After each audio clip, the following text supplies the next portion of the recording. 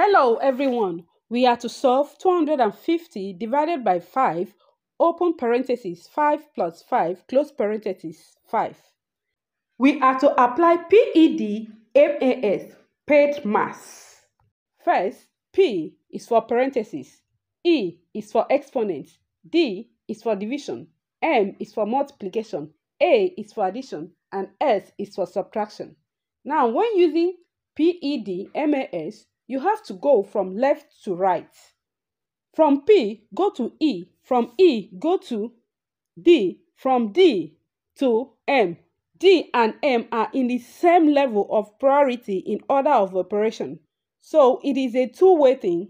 In the case of division and multiplication, you have to go from left to right depending on the one that comes first.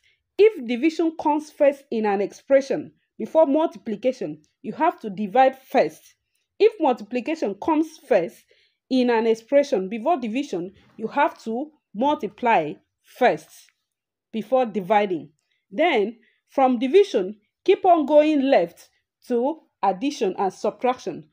Addition and subtraction are in the same level. So you solve them from left to right, depending on the one that comes first if addition comes first before subtraction in a question, you have to add first before subtracting. And if subtraction comes first in the question, you have to subtract first before doing the addition.